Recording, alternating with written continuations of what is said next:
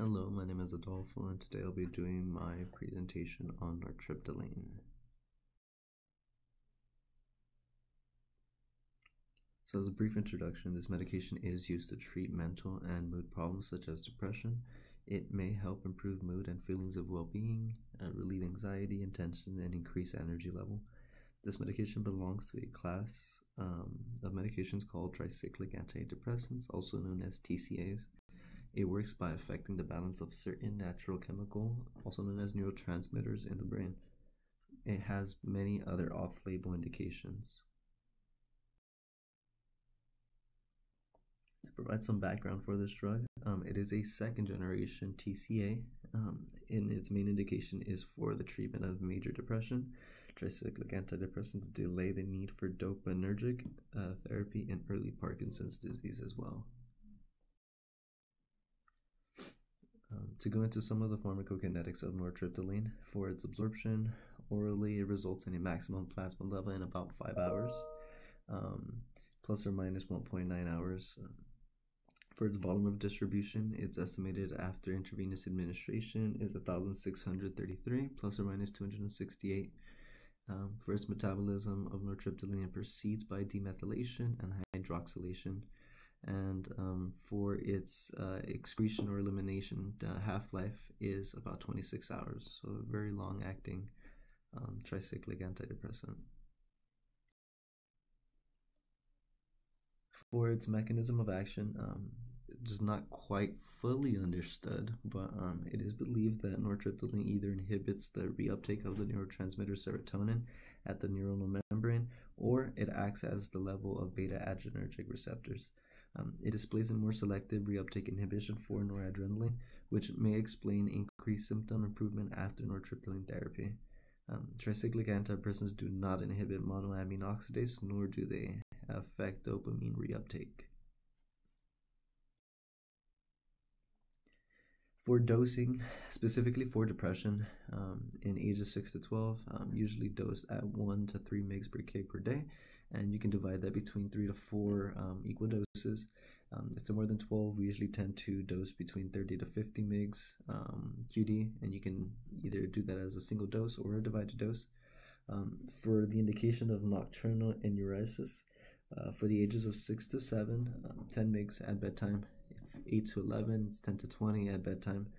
Anyone over 11, it's 25 to 35 mgs at bedtime. If they're using it for um, ADHD, uh, it's 0.5 mg per kg per day orally, um, with a max of 2 mg per kg per day or 100 mg, whichever one is lesser. As for monitoring, um, as an antidepressant, um, the specific range for nortriptyline is between 50 to 150 nanograms. Um, patients using nortriptyline needed moder- uh, need monitoring for suicidal ideation, especially at the start of therapy or when making any dosage changes. Um, clinicians should frequently monitor cardiac parameters such as heart rate, EKG, blood pressure in adults who already have existing cardiac disease, um, and elderly patients. Um, you also want to monitor for any improvements and or worsening of depression while on this medication. Um, as stated earlier, nortriptyline um, is FDA approved for the treatment of depression. Um, however, it is not FDA approved to be used in children, but it is prescribed off label for depression in children. Um, there's been lots of studies done recently that shows that it is um, efficacious for children, but as stated, it's not FDA approved. Um, and then also nortriptyline can be used for a lot of off-label indications, which have been widely widely accepted as this medication has been around for quite some time and has been used for these off-label indications. Um, some of these include such as chronic pain, diabetic neuropathy, uh, persistent myofascial pain, trigeminal neuralgia, post-therapeutic neuralgia, smoking cessation, migraine prophylaxis, and neurogenic cough. Some warnings is that uh, definitely should not use nortriptyline if you recently had heart a, had a, a heart attack. Um, do not use nortriptyline if you have used a MAOI, inhibitor um, in the past 14 days, and this is such as linezolid, methylene blue injection, so on and so forth.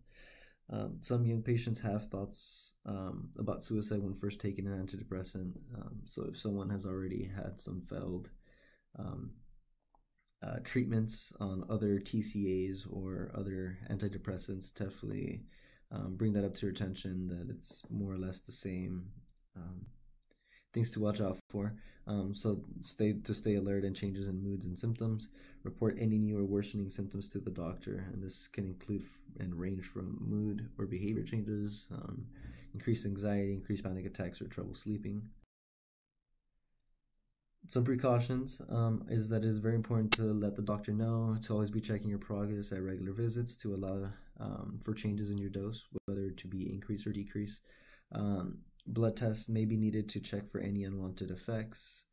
Uh, tell your doctor right away if you feel more depressed or thoughts about hurting yourself or others or suicidal thoughts, as that is a major indication that the medication might not be for uh, that specific individual. Nortriptyline may cause a serious condition called serotonin syndrome if taken together with certain medications, so definitely running interaction checks or checking um, all the other medications patients might be on that can increase the amount of serotonin in the system. Um, do not use nortriptyline with buspirone, uh, fentanyl, lithium, tryptophan, St. John's wort, or other migraine medications. As mentioned in the previous um, bullet point, um, it those medications do tend to increase the risk for serotonin syndrome. check with the doctor right away if you're having any chest pain, discomfort, nausea, vomiting, pain, um, specifically any discomfort in the arms, jaw, back, or neck, any trouble breathing, slurred speech, or weakness. Um, definitely, if there's any fast pounding or even like an uneven heartbeat, whether you feel like um, there's palpitations or any like heart murmurs that you might be not be able to explain, um, there might be some um, cardiac effects that the medication is known to cause that might be causing the patient. Um, do not drive or take or do anything else that can be dangerous, um, depending on like work life uh, habits as well too. And that is until you know how the medicine affects you. Some people tend to sometimes get a little bit sleepy on this medication. So if you're out driving all day as a truck driver, don't want to be taking that medication during the daytime uh, so on and so forth. So definitely don't take the medication until you know how it affects you. Um, some quick adverse reactions. Um, it does have a black box warning, and as stated before, this is for the increased risk of suicide in specifically adolescents, children, and young adults. Um, they have a higher prevalence for um, this risk and other like psychiatric disorders. So definitely keep an eye out on that. The most serious adverse effects usually tend to be orthostatic hypotension. Um, it can cause hypertension, also syncope, ventricular arrhythmias, AV block, MI stroke. Pretty much a lot of the cardiac side effects this medication is known to um, exacerbate.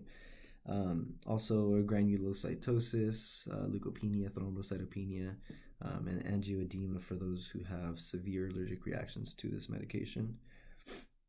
Um, some neuropsychiatric adverse re- um, reactions can and are not limited to um, EPS symptoms, um, ataxia, tardive dyskinesia, um, hallucination, psychosis, exacerbations, hypomania or mania, um, exacerbation of depression, suicidality, serotonin syndrome, SIADH, hyperthermia, and seizures.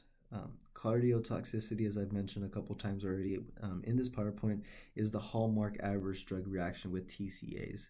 Um, in the case of like TCAs, um, the fast cardiac sodium channels are inhibited, and then that leads to the cardiac arrhythmias. And on like EKG, um, it can actually widen that QRS complex um, that's often seen and noted. Um, patient can also have withdrawal symptoms um, if discontinued abruptly. Um, is usually when they'll have these symptoms, and that can range from dizziness, GI problems such as nausea and vomiting, um, can lead to increased anxiety, headaches, restlessness, and sometimes even trigger seizures. Uh, just uh, another quick adverse reactions of this medication. These are more of the um, common side effects that can be seen from this medication. Usually drowsiness, xerostomia, so dry mouth, dizziness, constipation, blurred vision, palpitations, tachycardia, impaired coordination, increased appetite, weight gain, libido changes, impotence and gynecomastia, and galactorrhea. Um, there are a lot of drug interactions that um, tend to interact with TCAs in general and nortriptyline. Uh, the list can go on. Um, I included some of the more um, common ones, um, so to say, per UpToDate. Um, so definitely St. John's Wort, as that's available over the counter. A lot of people um, try to use St. John's Wort first before going into like actual um, prescribed medication for like their depression. So a lot of people don't know that you're not supposed to take them together. They think adding that St. John's Wort plus a TCA or whatever the doctor prescribed to them will help them get rid of their depression more. But then that just builds up their toler their um, receptors of for the serotonin, and then that's what can eventually lead to serotonin syndrome. Um, dronabinol is another medication. Um, isocarboxazid or linezolid, those are the MAOIs that should be avoided while on this medication. Uh, methylene blue, another one, and then metoclopramide, um, common nausea, vomiting medication that is pretty frequently prescribed, tends to interact with this medication. And just some clinical pros um, that you can take away from this is that um, once again, this medication can be used for a lot of off-label conditions, and you will see out in practice um, a lot of those conditions, such and this can range from, as stated previously, chronic pain, diabetic neuropathy, um, myofascial pain, any neuralgia problems, migraine prophylaxis. Um, the list can go on for what it's actually being prescribed for, even though it's not FDA approved for it, but it still has been shown studies that it can work for those specific conditions.